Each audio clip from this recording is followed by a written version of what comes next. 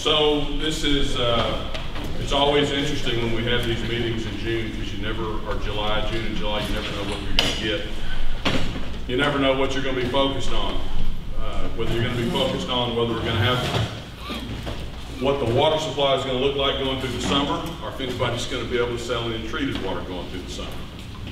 Uh, it's a, it certainly was a, and we're going to talk a little bit about this. It was a really interesting fall.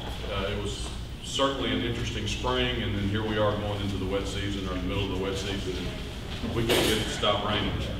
Uh, we have passed 2 million acre feet of water through Possum Kingdom and Granbury since January. That is enough to have drained Possum Kingdom and refilled it twice. It's enough to have drained and refilled Lake Granbury nine times. We've had enough. Uh, so we don't have anywhere to put any more. We're full. We're going to show you that the uh, Corps of Engineer lakes are full and they're probably as nervous as others on the management of reservoirs moving into the uh, hurricane season. Uh, so it's going to be, it, it, very well could be with uh, maybe tropical depression number one in the Gulf of Mexico by the weekend. It could be a very interesting summer moving forward. Really glad you all are here today. Uh, for those of you that I haven't met, I'm David Collinsworth, GM of the Brazos River Authority. I've been in that role for about a year and a half. I've been with the BRA for about 25 years.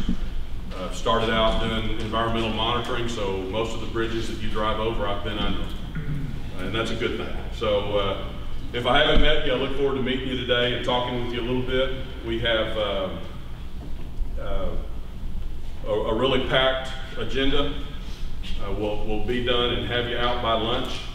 Uh, so we're going to focus on David Thompson, our CFO, is going to talk you through uh, some of the challenges that we have and how we're looking at uh, rate making, uh, what our rate's going to look like over the years, uh, what your rate's going to look like next year.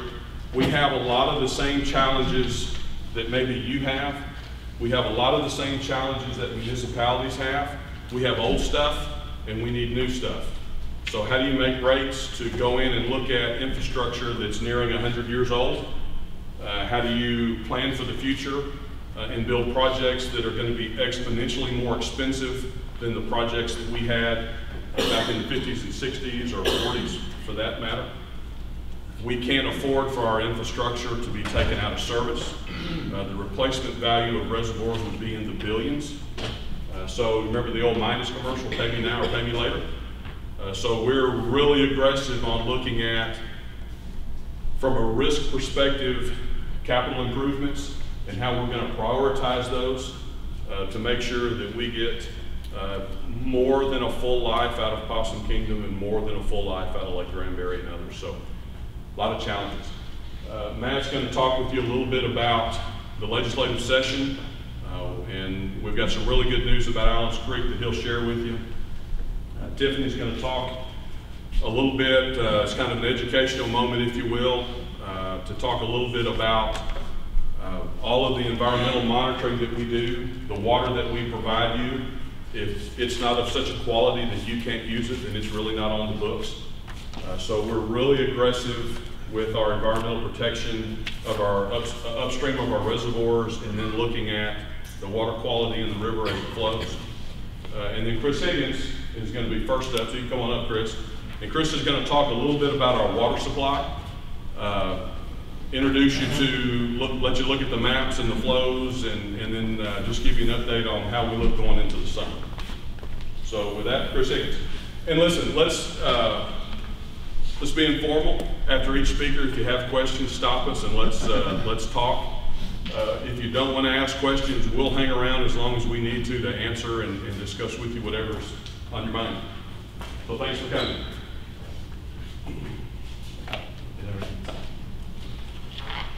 Hey, good morning. Um, so I'm just going to walk you through the last 12 months of, of what the hydrologic conditions have been in the Brazos Basin, um, which you'll see when, with these next few slides, there's been a pretty large swing. And then uh, I'm going to go over kind of where we're at with our long-term water sales contracting um, under our system operations permit. Just a brief slide. Is that better? Yeah. Sorry. so these three slides, we've been showing these the last few years. It just shows the U.S. Drought Monitor um, produced by the, it's a, it's a, it's a group of, of agencies um, and it gets pushed out every Thursday. We, our GIS, our GIS guy takes it and uh, overlays the percent full of our reservoirs in that basin and we put it out on our website every Thursday. But basically, this is a snapshot for each of the year. For 2017, it was May 30. For 2018, it was May 31. And then about that same time here in 2019, you can just show the progression of, you know, 2017, it, there was some abnormally dry to moderate drought in the central and upper part of the basin. Um, our reservoir system as a, as um, a combined reservoir system was fluctuated between 95 and 100 percent or so. And then you move into 2018, um, and it started getting pretty dry um, around the May timeframe. You can see that the that the drought was was uh, was progressing. We were about 93 percent full at that time in May, so we, we were. And then the reservoirs were dropping slowly. Uh, and I, by the by the end of August, they were down to 80 percent. It was a it was a very dry, little short time span, and I'll get into more of that in a second. And you can see in 2019, we're, we're in good shape, obviously, with all the rain. You know, David already mentioned 2 million acre feet. You add a limestone into that, it's about 2.6 million acre feet that we've passed combined for all three of our reservoirs. Um, so this is departure from normal graphic. Um, you can see the October uh, 2017 through June 25th of last year, there was areas in the basin and central basin that were as much as 16 inches def rainfall deficit by, by the end of June. Um, and parts of the upper part of the basin were in just as worse shape. Um, it, you know, it was extremely dry. And you can look over here on this next graph, fast forward to the last eight months, and you can see that we have areas around Abilene and, and College Station down in the lower part of the basin, um, and, and Comanche County around where Proctor is, where there was, you know, we received as much as 20, you know, 20 inches of rain more than what we would normally see by this time, uh, which is pretty phenomenal. Um, and I'll, I'll, show that how that translates into stream flow um, with this next slide. So this is our, this is a, the Hempstead gauge. It's about 200 miles upstream of the Gulf. We have, and it shows all the way from 1939 when we began collecting data at that point all the way up through this year. Um, and what we did was we just pulled the June, July, and August uh, stream flow amounts uh, for each of those years just to compare and contrast. Um, and you can see that, that nine month period that we showed on that previous slide where we had the deficit, that shows it was pretty much the lowest that we had seen on record as far as flow volumes in that area. Generally, you know, on average, you see about, and you can look at the million acre foot line, that's about average. Um, and so we were about one eighth of what we would normally see on average, about 200 acre feet. And then this is a, a similar graphic uh, about 100 miles downstream of the Richmond gauge. We, it was just a month later, we skipped September, and then we go through the next three month period, October through December, and we see that 2018 was the most flow we had seen in the lower part of the basin, which just goes, I mean, everyone knows that Texas, the, the climate swings back and forth, and this is just a prime example of, of how things can change so quickly um, and just flip the switch from, from dry to, to extremely wet. Um, so moving along. This is another graphic that our GIS guy uh, puts out every Wednesday. Don't know what happened there. Can you go back?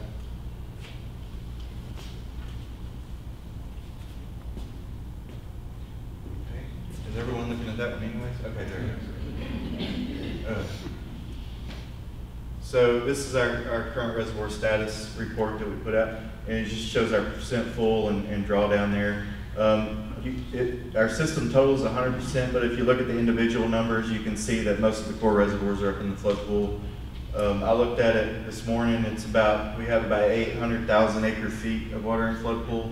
Um, when all 11 of our reservoirs are completely full, it's about 2 million acre feet. Um, so that's another way you can, the 2 million acre feet that we passed through Granbury and PK, you could fill all 11 of our reservoirs completely full. Um, so yeah, currently we have about eight hundred thousand acre feet in flood storage, so we got a ways to go. The Corps got a ways to go to pass that in a few weeks. Um, and you can see that, um, well, the PK and Granbury show just a little bit of drawdown. We're just operating them just a little bit low while we're passing all this flood water. So once we get finished with flood operations, we'll land them back at normal full pool.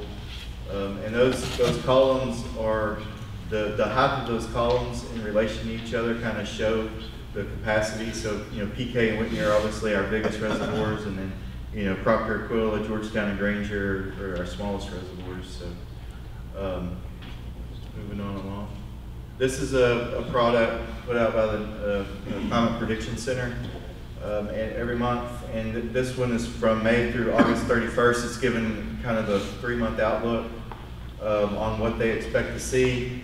Uh, obviously, they're showing that there's, you know, if, the, if there was some yellow there where it says drought development likely, um, but they're showing that there's no no drought um, likely over the next few months, which is positive as long as it quits raining for a little bit. We got. Um, so this is the slide. I just have this one slide just to go over. We, you know, we went through a, a pretty long process of developing a tool um, and and and to figure out how much water we have and where we have it available now that we've acquired the system operations permit. And so our, uh, we calculated it was about 100,000 acre feet. We presented that to the board, and we're moving forward with um, coordinating with our customers and internally uh, to try to figure out who's, you know, who, who's going to get, you know, how much water. And so um, we're, you know, one of the hurdles that we got to get through um, in between now and then is we have to update our, our contractual agreement forms. Um, and then we'll present that by the July Board of Directors meeting. And then hopefully we'll begin executing contracts by August 2019, which is what we've been planning all along. So, and then this graphic, we've been, we've been putting this together since 2014. Um, most of you have one at your desk, uh, and it's mostly self- self-explanatory. Um, I'd like to, just that, that graph that shows the reservoir accounting. Um, the, I don't know if it's, it's intuitive for everyone, but those, those larger, wider bars, those are all the inputs into the reservoir, all the inflows. And all the, the, those skinny lines with all the colors, those are all, everything that leaves, evap, the, the evap, the releases, the water, lakeside water use, water supply releases, leakage, anything that leaves the lake. And so when you're when you're looking at that and you see those lines squished, you can get a, an idea of you know what the evap and everything are in the table below. Um, so, and if you have any questions on that, just feel free to ask me, and I can walk you through it. So, Go back to your, uh, your, your slide with the tubes. That right there. yeah. Here's, here's what I want to explain from this. For those of you that don't know reservoir operations and you're wondering, you're seeing all the flooding and, and why, what happens, happens. All of the reservoirs that are over 100%, those are Corps of Engineer reservoirs, and those reservoirs were designed to hold flood water. They're doing what they're supposed to be doing. The Brazos River Authority, we don't have flood storage. So when we're full, like we are today, theoretically, every drop of water that comes in has to leave. So that's what dictates how we operate our gates. So if you go online, if you follow us on Twitter, if you follow us on Facebook, and you're seeing uh, information about we're preparing to release or we're going to have releases in hours, it's all based on what we're seeing coming from upstream. The big challenge, and it's happened to us twice this spring, is when we have that red cell on the radar form and set right on top of the reservoir. Because most of, well, what we like to see is rain in the watershed coming down and it gives us time to react and understand how the water's going to attenuate and get to the reservoir and what the impacts are going to be. But when that cell sits right on the top of the city of Granbury or right on top of Possum Kingdom, then that's why you'll see us go to gate operations and then an hour later another gate, an hour later another gate. That's because we're having to respond to what Mother Nature's providing. So that's a, that's a really big challenge. But again, the, the Corps of Engineer reservoirs, this is what they're designed to do. They're designed to hold back these large floodwaters. You want to talk about your last slide or did you have one? No, I'm, I'm good. Okay. I'm good. So, uh, who's next?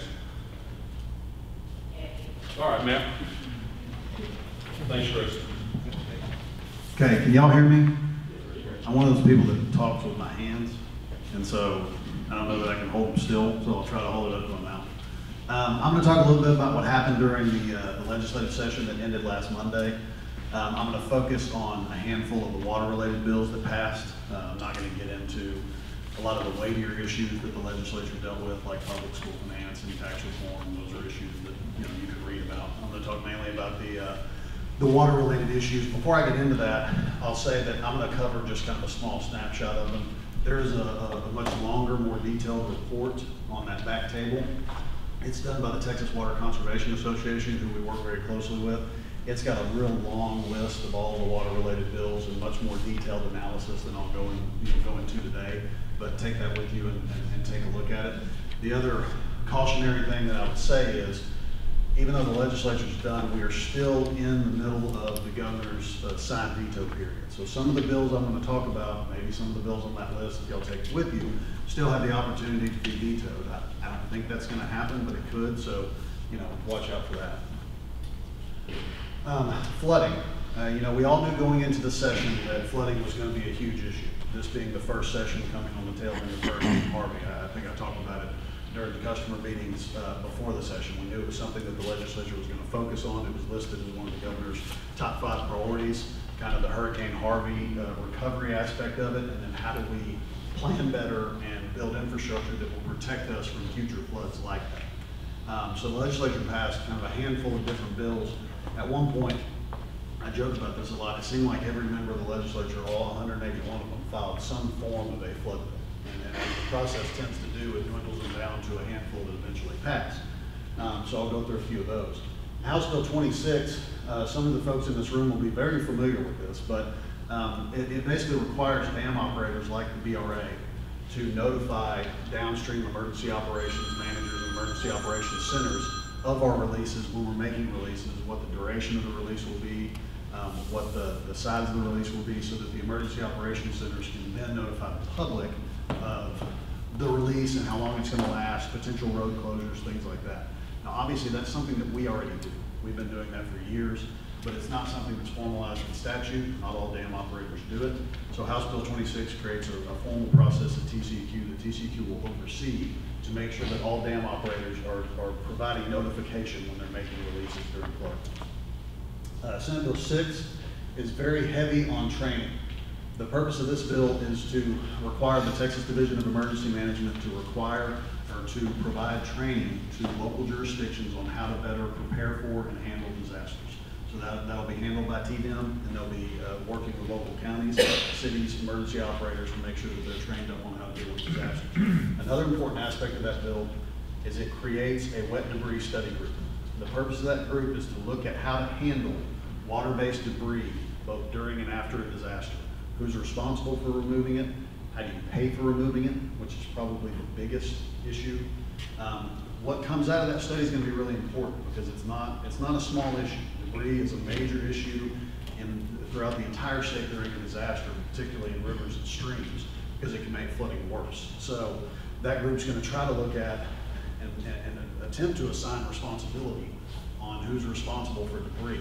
I don't know who's gonna end up being the, the point person, point entity on debris removal, but what, what I can tell you is the, the cost and the scale of that, uh, could be astronomical.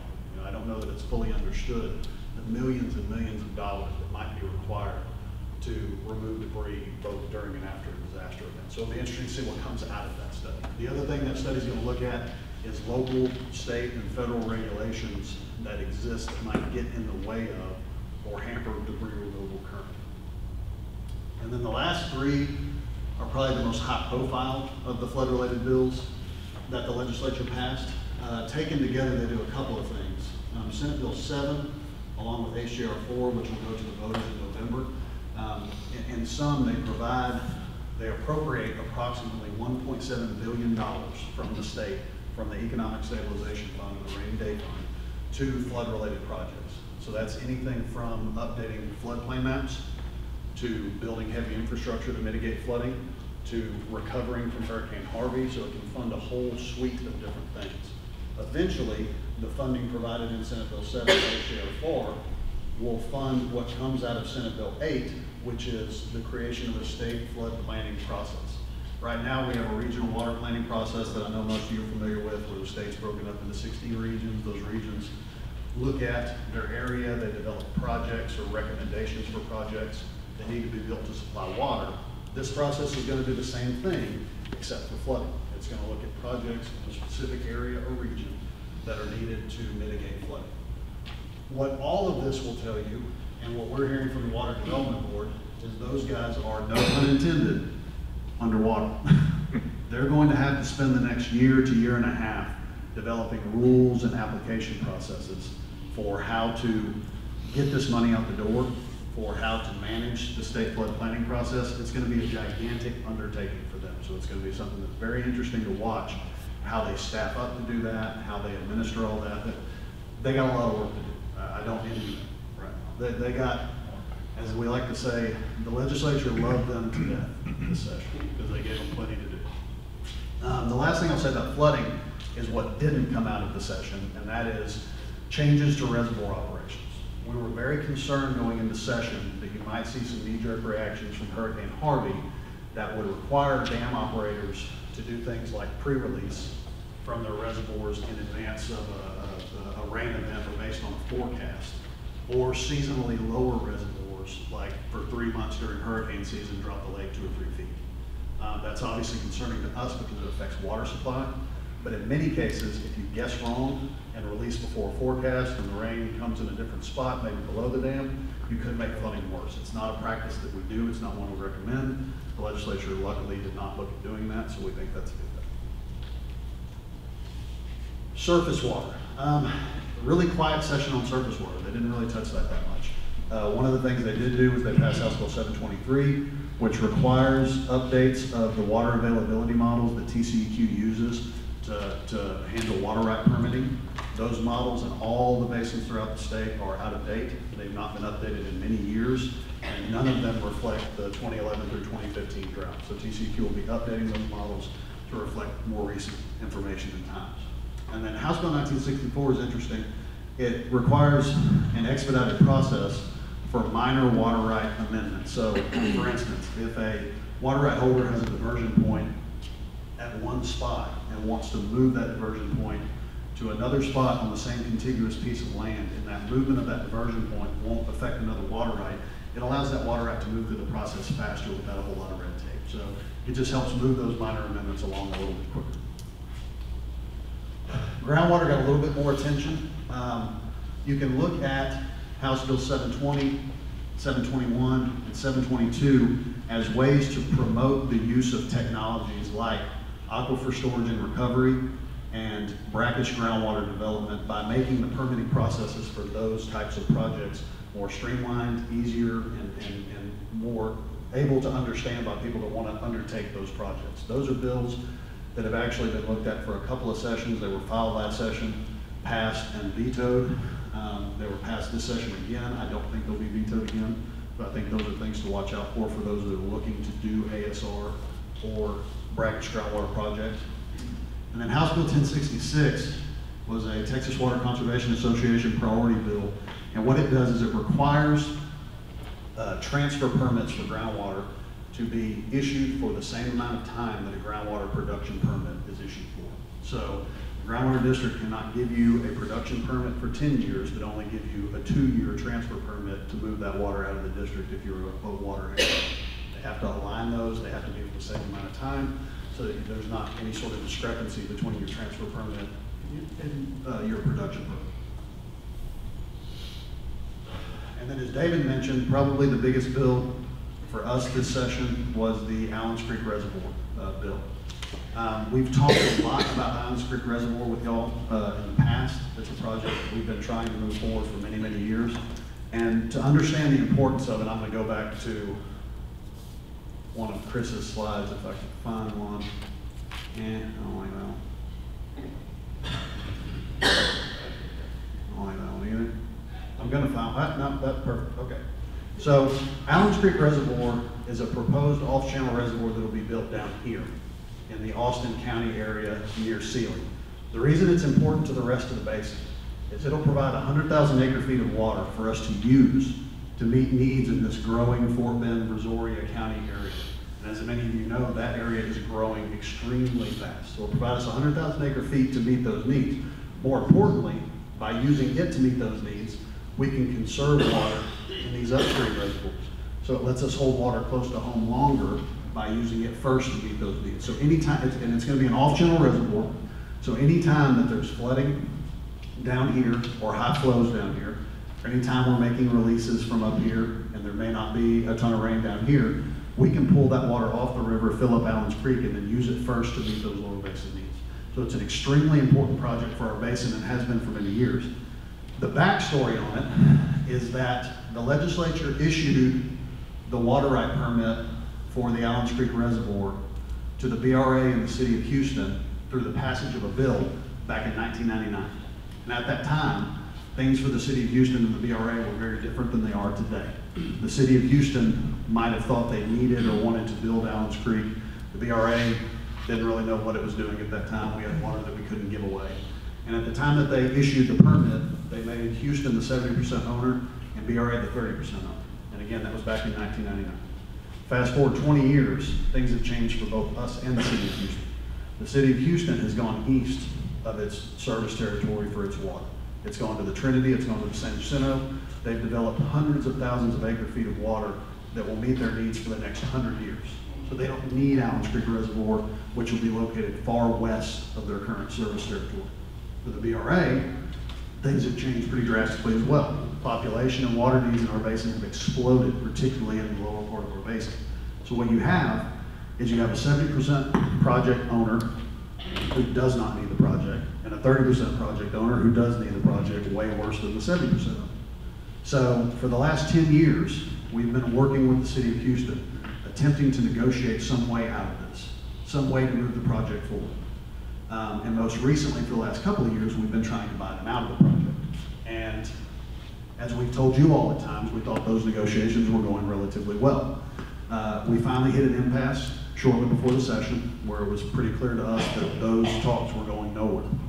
Um, some of our lower basin customers, the potential users of that water, fed up with not seeing any progress on the project, decided to pursue a bill, House Bill 2846, which requires Houston to accept the buyout from the Brazos River Authority. Will pay Houston what they have in the project to date, which according to them is $23 million. And the Brazos River Authority will become 100% owner of that project. The city of Houston will have no stake in it. The BRA will be complete and total owner, and it will allow us to begin the 404 permitting process in order to move that project forward. So it's a big step, because it, it, it puts us in the driver's seat of a project that we should be in the driver's seat of. To set expectations, though, we still have a long way to go. One, the city of Houston, who wasn't particularly fond of the bill, they opposed it at every turn, has to accept our buyout. And even though the legislature passed a law telling them they have to, we all know how that works. So we could end up in a lawsuit trying to figure out who's right and who's wrong on that. Once we get control of the reservoir project, which we're hopeful that we will, we still have to go through federal 404 permit, which is the last step before we actually turn dirt, but that process could take a number of years, three to five to seven, we don't, we don't know yet until we get into it. So just because this bill passed and we have the potential to gain control of the reservoir, doesn't mean we're gonna start turning dirt tomorrow. We've still got a little ways to go, but again, it's a big step in the process, it potentially gets Houston out of the way, because they don't need the project, and hopefully, uh, gives us the ability to start building the thing. Uh, The bill passed pretty overwhelmingly. Um, It passed the House 143 to 5, it passed the Senate 26 to 5. So it had a lot of support in the legislature, so hopefully, it's a good step in the right direction and we can get things moving forward. So I think that's all I've got, but I will be happy to answer any questions. I got a question. Yes. What is the, what is the city of Houston told them? Why would they not need this reservoir, but also not need twenty-three million dollars? So they don't need the reservoir because they develop supplies el- elsewhere. So it just doesn't make sense for them to come all the way west to get it. I don't know why they won't take the twenty-three million. I mean, you would think, given some of the things we've seen about the city of Houston and their budget deficit, that they would, because it's not only the twenty-three million that makes sense for them. And again, this makes so much sense to, to, to us, it's hard to understand why they have been so problematic. but it's the cost avoidance that actually saves them money. Because this project is projected to cost five hundred million dollars total, and they're responsible for seventy percent of that, so three hundred fifty million. Why they would want to spend that on water they don't need, I don't understand. Their argument throughout the session was, well, you're, you're taking something from us, and we might want it later, but we don't know. So I kind of look at it like, you ever seen a kid who has a toy that they don't play with, but when some other kid wants to play with it, then suddenly it becomes their favorite toy? That's kind of how I look at it. I mean, that, that's pretty much how they acted during the session. I mean, they, they, they have no need for it, but as soon as somebody else wants it, well, oh no, suddenly it's my favorite thing and I jump on it. Best I can explain. Yes, sir. I missed last year's meeting, so uh, for several years, we heard about the system of ops. And apparently that's got passed, correct? Yes, sir. And therefore, you're able to take water out of the river to meet those permits down south when, and not release them out of the top, is that correct? So the, the system operations permit, and you probably need to come up here and explain this, uh, Chris went through it at the tail end of his. Um, we spent a while going through and determining the water availability that the system operations permit would provide to us, firm water, and we determined it's roughly hundred thousand acre feet. And we took that to our board in April, so we will now have the ability to contract for an additional hundred thousand acre feet of water, uh, which we'll start contracting for, I guess, this summer.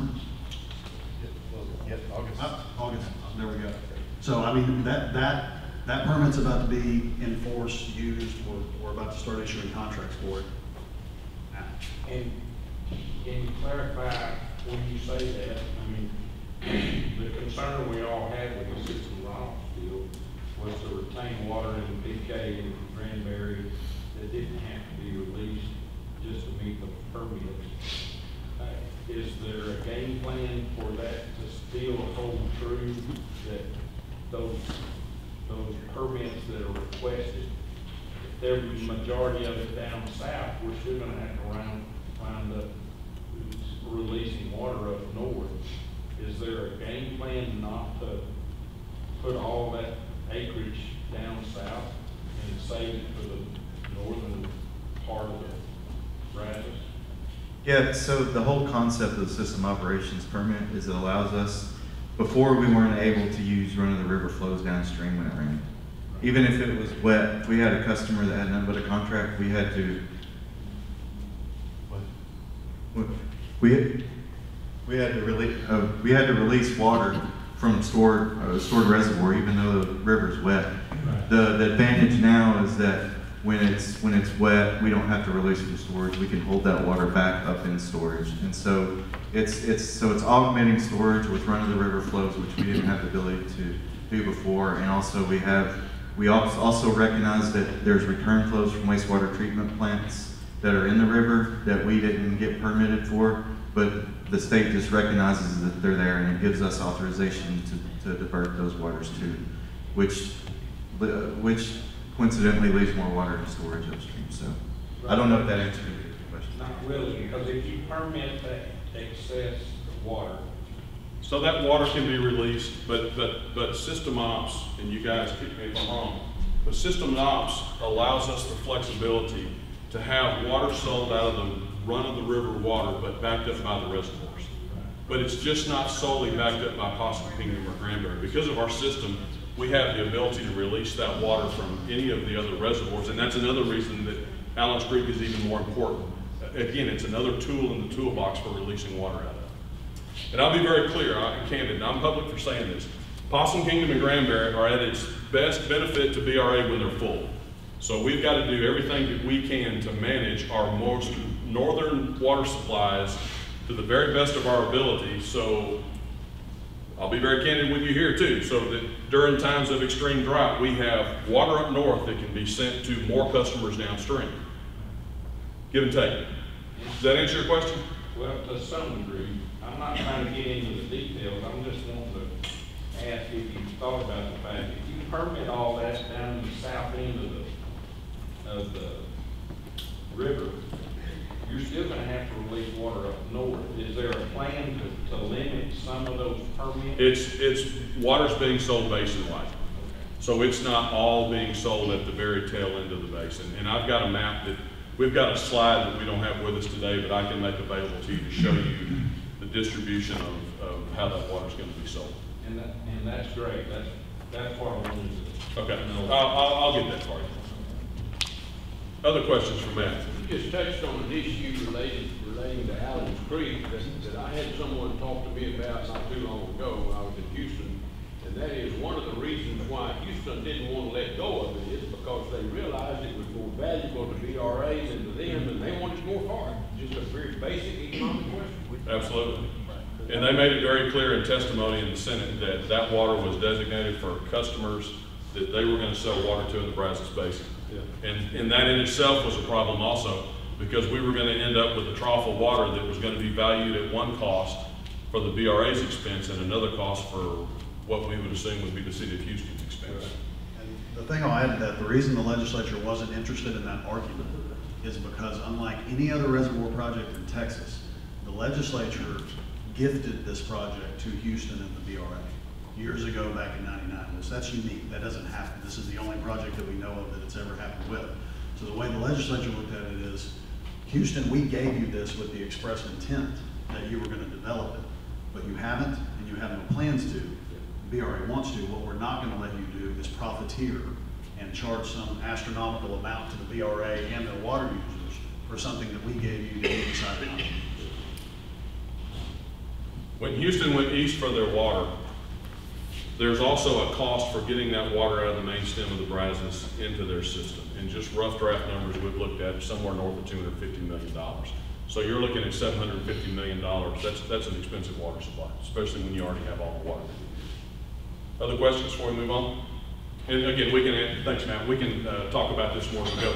I wanna, before I introduce Tiffany, I wanna make you an offer. Uh, For those of you that haven't been to our locations and you'd like to tour Possum Kingdom Dam, or you'd like to tour the Lake Granbury Dam, uh, let us know. You can work through Mike McClendon in the back. Uh, I can't guarantee that we can meet your schedule because we've got things going on at the dams, and if we're getting ready for flood waters and releases, that may not be the right time.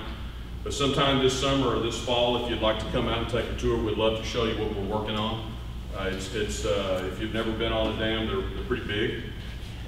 Um, For you to do that, we've got to go through a little, a short security check. We need your driver's license number. We've got to make sure that you're good to go. But uh, again, we'd love to introduce you to those dams and let you see them. So with that, uh, something that's really near and dear to my heart uh, is the environmental protection of, of the waters that flow in the Brazos and the source waters that flow into our, our reservoirs.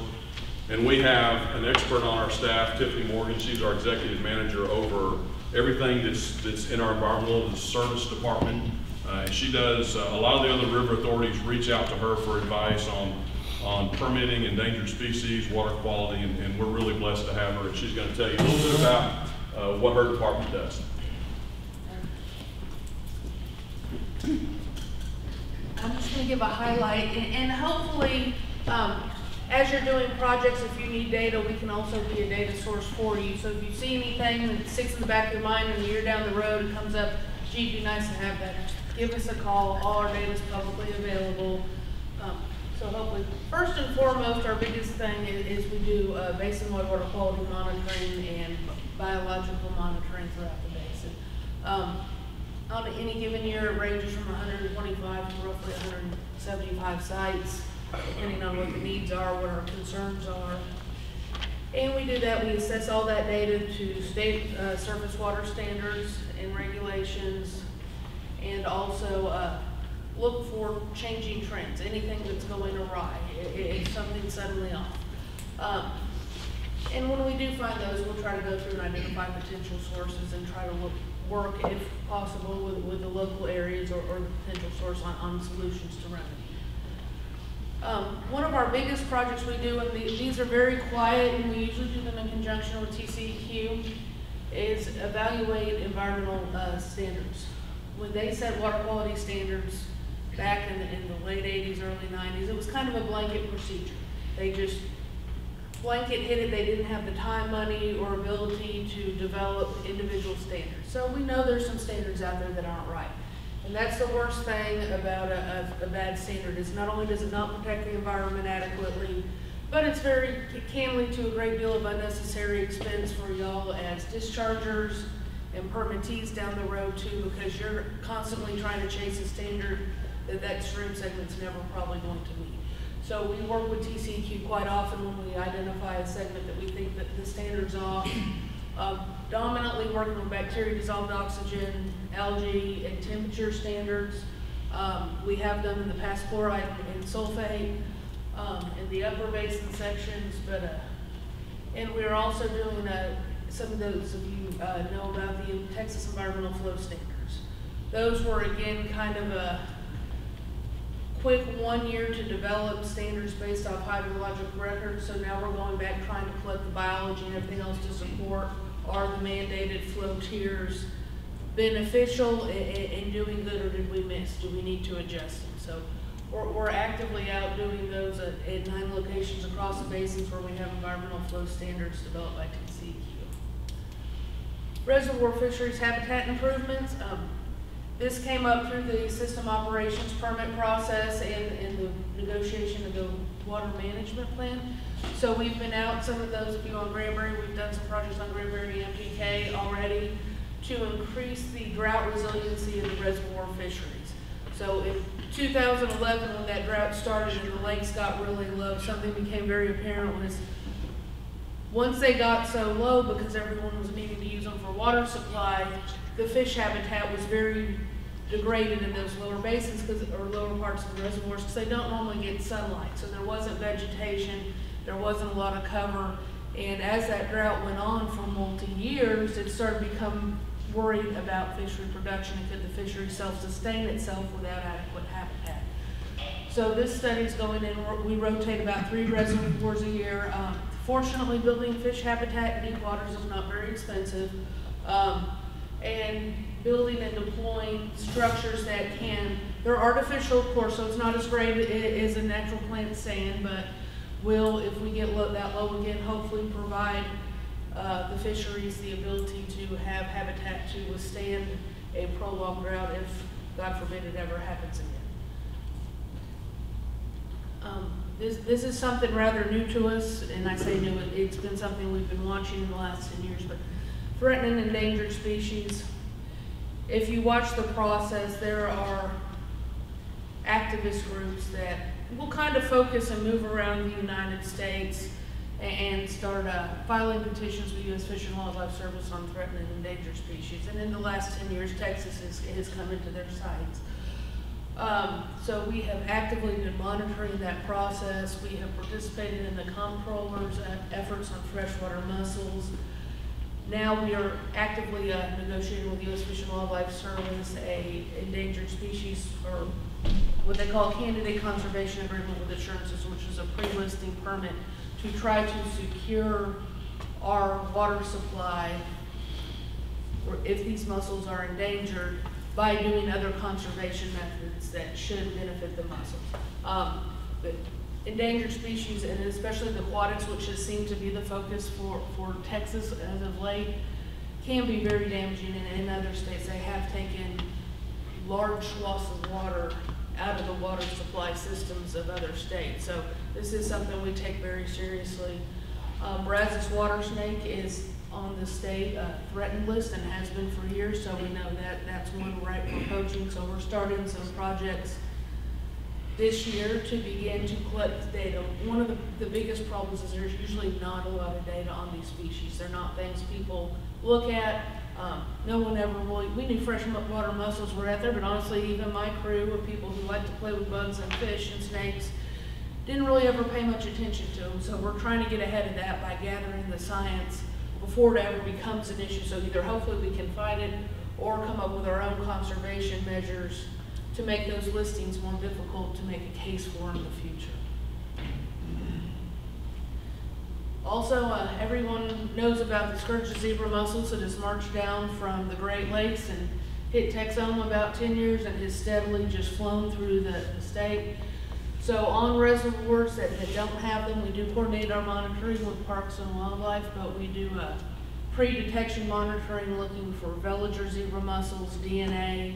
Um, we also look for the adults, but hopefully we can have some early warning. It doesn't really do much other than let people with intake structures know they need to start watching them and develop a, a maintenance plan. There's nothing we can do to stop or control it. And we also keep an eye on uh, invasive plants. Fortunately, we have not had a major plant problem in our basin. We- We've had a few instances we've been able to get on top of it quick, but um, San Jacinto River Authority, the Sabine River Authority, they spend millions of dollars a year on invasive plant control in their reservoirs. So we do try to keep a, a, a strong eye on that, so that doesn't become a problem for us. When we do find an issue that, that's bigger than just a standards adjustment, we will try to, uh, work with local communities to develop plans to identify sources and identify solutions to those sources. Um, these are just some of the different, uh, studies we've done in the past along those regards. Um, doesn't look like a huge list, but, but most of those are, are multi-year, five-plus year studies and events and coordinating back and forth with the local communities. And when it comes up, thi- this is probably more in, in, for y'all than uh, any of our other groups, we work uh, hand in hand with our lake rangers on investigating environmental offenses against our reservoirs and streams, and- and have occasionally assisted some, uh, other lo- local law enforcement agencies, some of the sheriff's departments in the area, when they have a, a case or something concerning them they're trying to make. So, whatever they need at that point in time, sometimes it's just to help interpreting one of the, uh, water code laws, and sometimes it's actual pulling samples and, and doing some analysis for them. Uh, we support all our BRA facilities with permitting support services for all the environmental support, uh, environmental permits that are out there. Um, We've done at least one of these on every one. Uh, that's a picture of a dewatering event at Lake Granbury where we had to do an aquatic, uh, life relocation permit for Parks and Wildlife, and we were pulling fish out of a very small concrete box in the stilling basin. And this is just kind of our summary of our biggest overall issues and concerns we see uh, with water quality. Biggest one is, of course, balancing competing interest. Uh, Often water quality and water supply are kind of at odds with each other. Uh, Population growth is another one. A, not only are we limited on water supply, more people in the basins means more disturbance in the natural area, so you have more potential for impacts to water quality. Nutrient regulations have kind of been hanging out there right now. EPA's gone kind of radio silent on developing those for streams and rivers. They've done some reservoirs. Um, TCEQ and EPA were kind of battling over remaining reservoirs. I think Granbury is one of the ones they're still battling over on what that standard should be. Um, I would expect if we have a change in regime, that quietness will, will go away and they will be very active again. They, they got very quiet after the last uh, federal regime change. Um, so that could be a huge impact, especially to those of you that have TPDES permits. Because y'all are gonna be the low-hanging fruit that are easy to fix. It, it's much easier to regulate you than a cattle producer or a feral hog. Uh, Climate variability, droughts to, to floods. Um, Right now, we had a beautiful uh, sampling schedule for this spring, and, and we've managed to uh, accomplish one biological monitoring event because water flows are just too high for us to get out there. Destruction of riparian vegetation, that does occur sometimes up here, but it's definitely a lower basin problem where people have clear cut over uh, history to the edge of the river, causes a lot of erosion, a lot of sediment deposition, um, can sometimes lead to more flooding issues depending on where that sediment gets deposited. Also, taking the vegetation away raises the temperature of the water because it's not shaded, so that's a big issue. And then overall, just a, a history of rush science regulations and standards and regulations being based on things other than hard science that proves they're going to be effective. So, so those are things we all try to, uh, keep an eye on and, and work and prevent when we have the ability to. Any questions?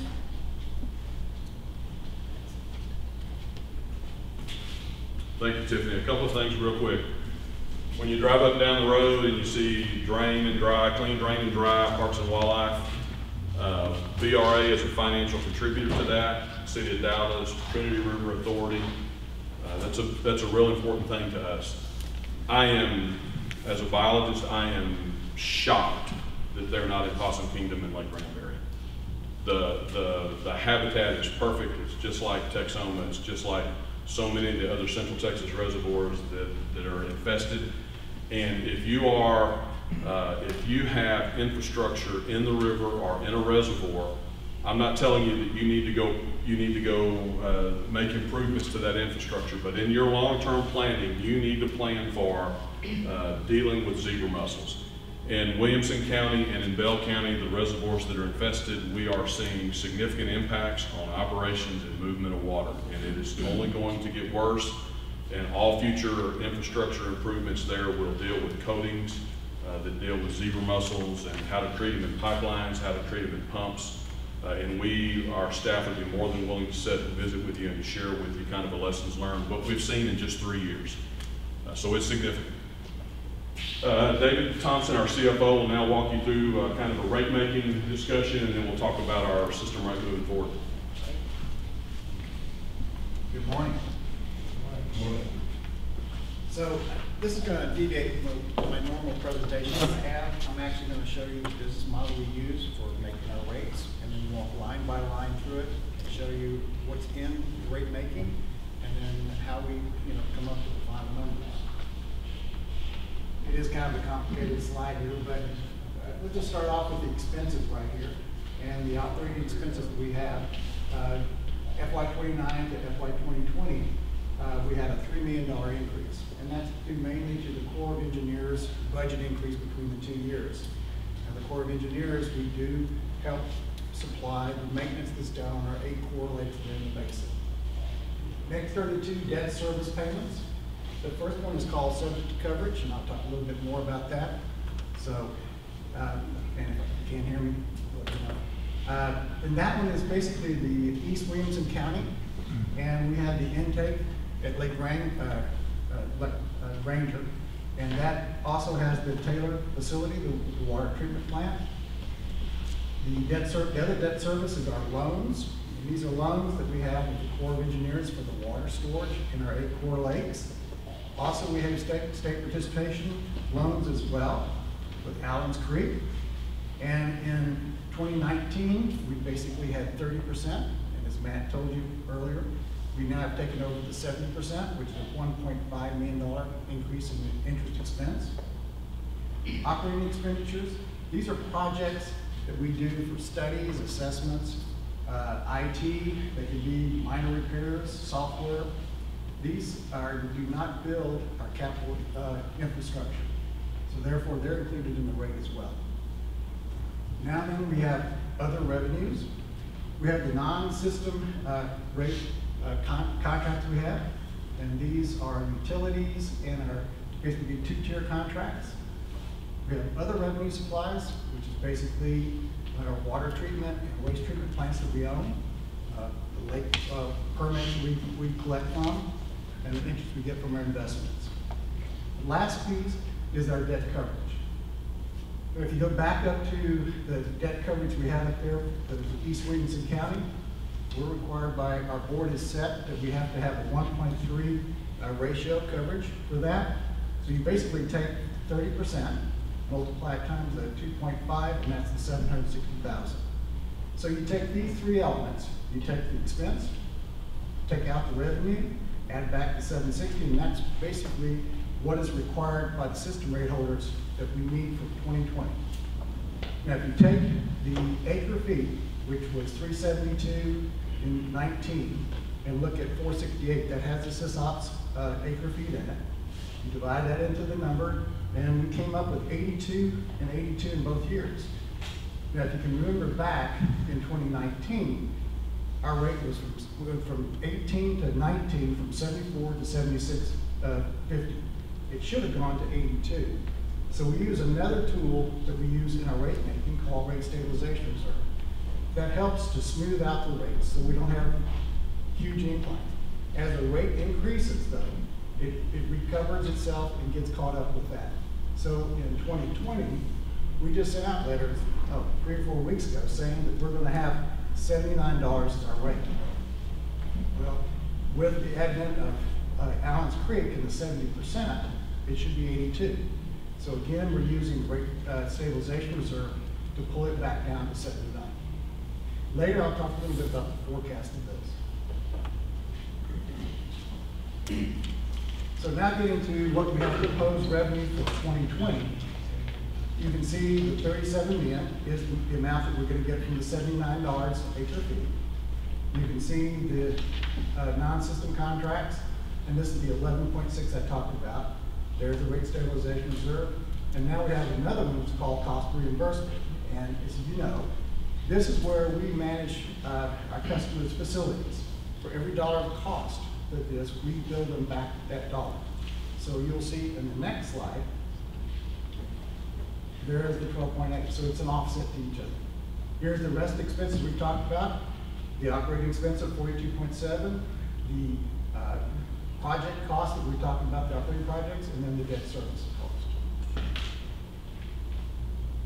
So here's a list of the operating projects, and these are projects, again, that do not build out our capital, main capital infrastructure. There are certain projects in here that we do recover from grants as well as other stakeholders.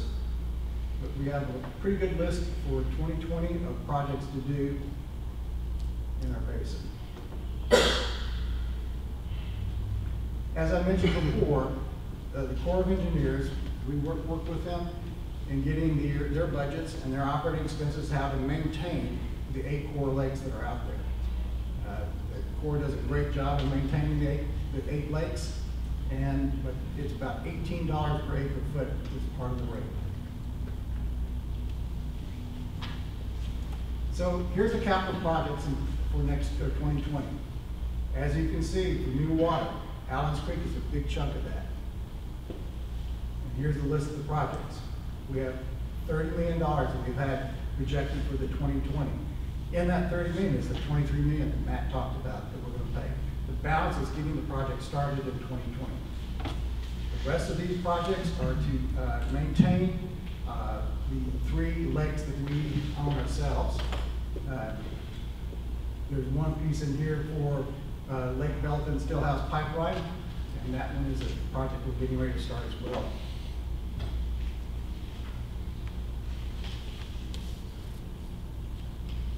So here's the water that we're sell, seven hundred nineteen thousand acre feet. Sixty-five percent of it, which is the four hundred and sixty-eight thousand acre feet. And you can see the other pieces that make, make up the, the seven hundred nineteen thousand acre feet. Here's a breakdown of each of the groups. The next largest group, what I talked about, is the, the two-tier and basically utilities. And then the other groups that we have, agricultural,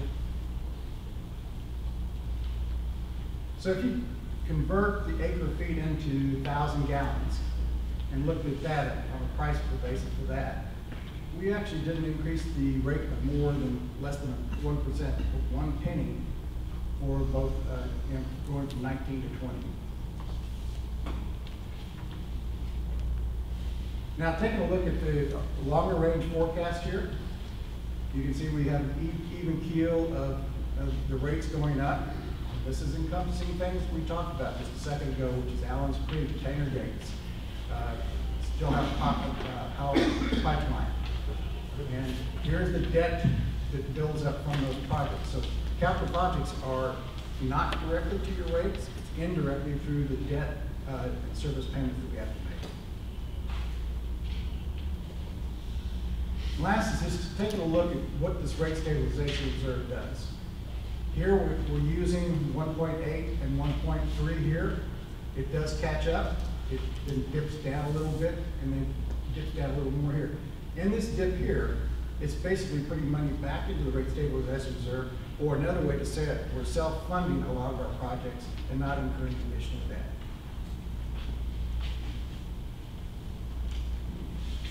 And this is just a reminder about interruptible water that's coming up. Uh, priority request less than a thousand acre feet. Uh, you have, the deadline is August thirtieth. We do have established firm deadlines for payments, the executing contract, and it's usually the board approves the interruptible water in the October board.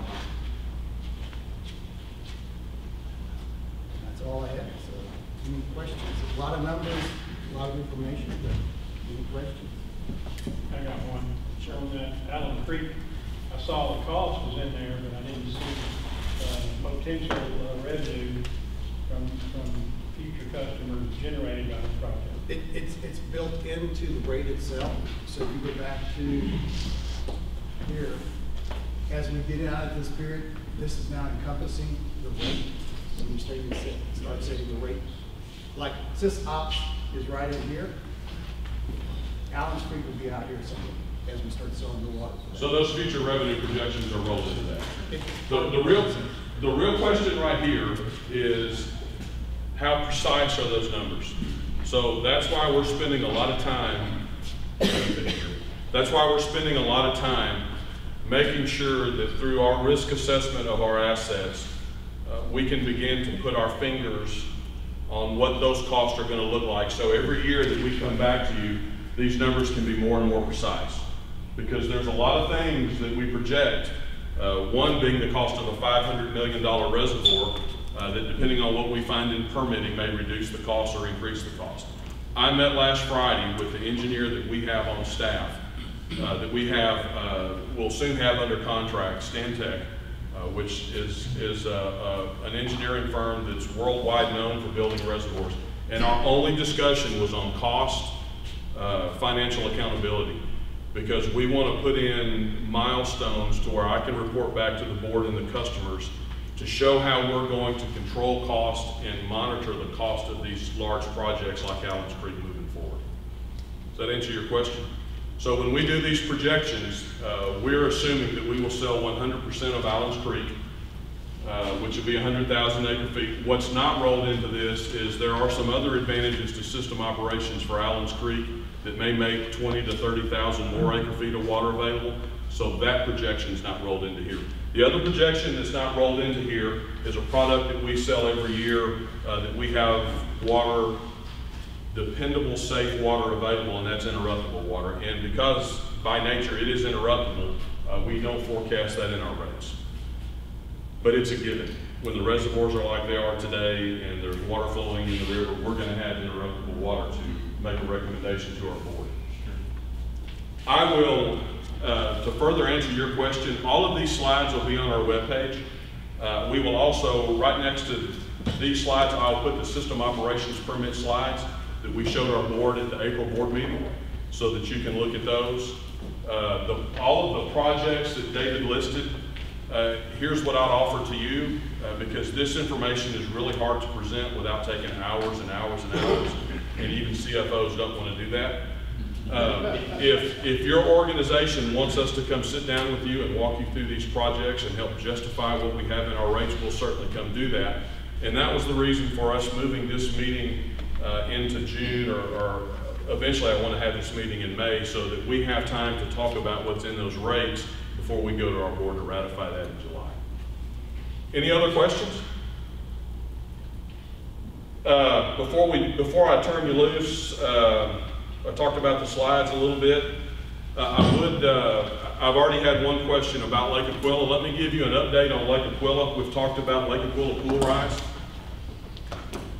Uh, The likelihood of that project took a dive about two weeks ago when I received a letter from the Assistant Secretary of the Army telling me that there'll be no flood, there'll be no reallocations in the flood storage.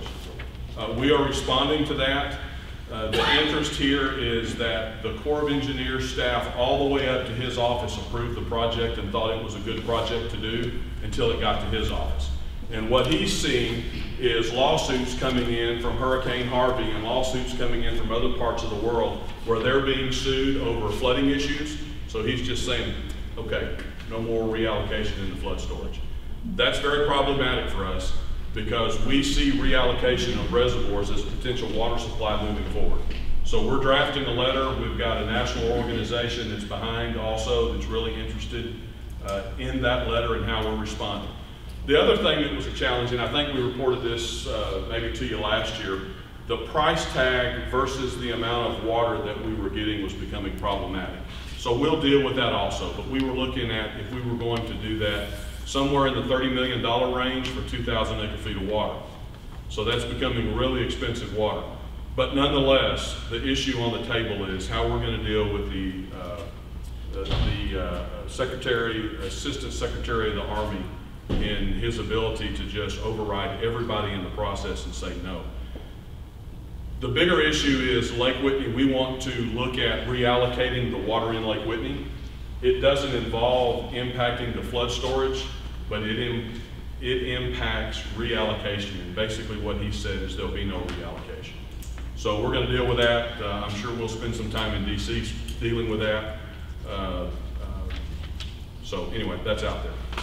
Questions, comments, thoughts? It's too easy.